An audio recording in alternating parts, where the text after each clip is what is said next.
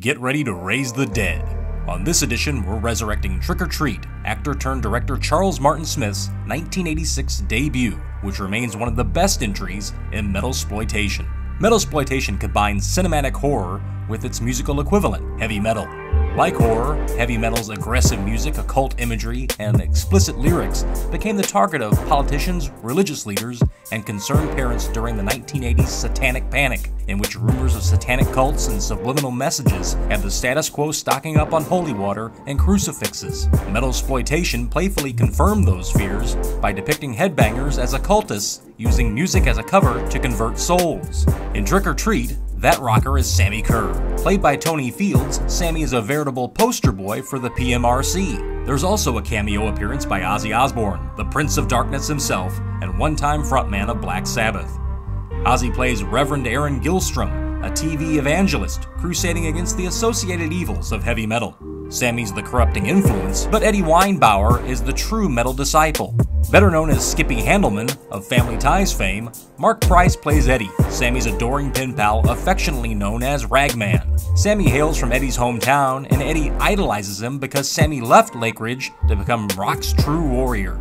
The film opens with Eddie introduced as a nerdy metalhead via an opening montage in which Eddie is continually hazed. We're also introduced to Leslie Graham. Leslie seems sympathetic to Eddie's plight and becomes the object of his affection. Eddie's world, however, is about to get worse when it's reported that Sammy Curr died in a hotel fire. Eddie visits local metal DJ Nuke, played by Kiss co founder Gene Simmons in a cameo performance. Nuke has a rare studio acetate of Sammy's final recording, which he presents to Eddie. Nuke already made a tape of it, which Nuke intends to broadcast at midnight on Halloween per Sammy's request. Upon playing the vinyl, Eddie discovers a backward message that seemingly tells him that he's the bait and to let the big fish hook themselves. He takes this message to heart and devises a setup for his jock tormentors, led by classic 80s bully Tim Haney. Upon further subliminal investigation, it's revealed that Sammy is, in fact, speaking directly to Eddie from beyond the grave. Sammy's paranormal bully shaming soon takes a dark turn when a metal shop encounter almost kills Tim.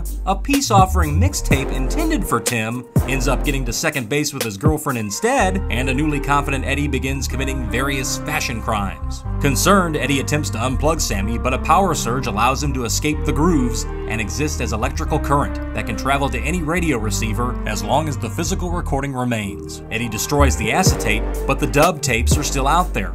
Eddie enlists the help of his equally nerdy friend Roger to steal back Tim's tape. Roger doesn't believe Eddie and plays it. Sammy arrives and threatens Roger into playing the tape at the high school's Halloween dance. At the dance, Sammy smokes the house band's lead guitarist and leads the remaining band members in a rousing version of Fastway's Trick or Treat. At just over the hour mark, Sammy finally starts his killing spree by vaporizing members of the horrified crowd with high voltage lightning strikes from his guitar. Eddie arrives on the scene, saves Leslie, and with help from Roger, kills the school's power. He destroys the dub tape, but Nuke's still scheduled to play his at midnight.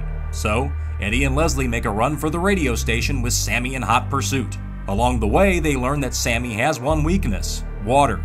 At the radio station, they discover that Sammy is using his powers to protect the recording, so Eddie lures Sammy into a watery trap with poser and false metal taunts, which, of course, work.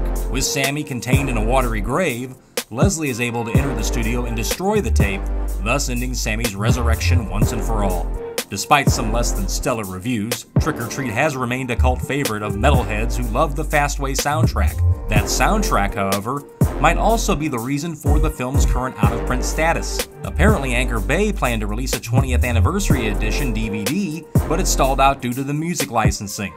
As one of the more recognizable films to launch metal exploitation, Trick or Treat deserves a proper home video release, or at least streaming availability.